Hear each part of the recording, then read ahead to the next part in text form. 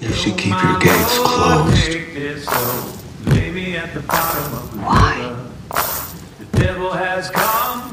Because it's all about survival now.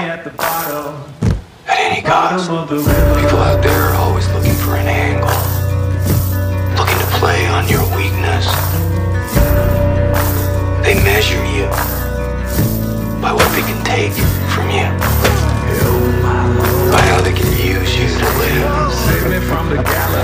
Her never coming to Alexandria, her hanging Gregory the way she did. I know. I'm not blind. He sure as hell been acting like it. And your ass wouldn't even be alive if it wasn't for Glenn. Glenn, you're welcome.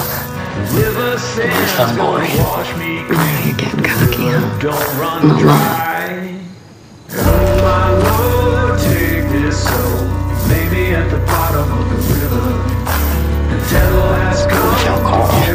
Said I could do it. And you sure as wouldn't have found any of us. He did that. Or did you forget? Of course not. I think about it every damn day.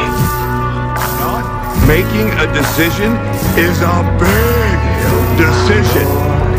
You really want to see all these people die? You will.